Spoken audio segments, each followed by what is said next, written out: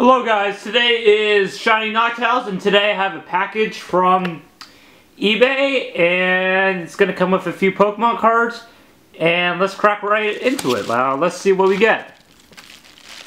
Let's see here. first open this and then I'm going to show you what cards I get individually. Oh man, look at this. I get three cards. I'm going to show you these three cards. Let me focus the camera. Give me a moment. Here we go.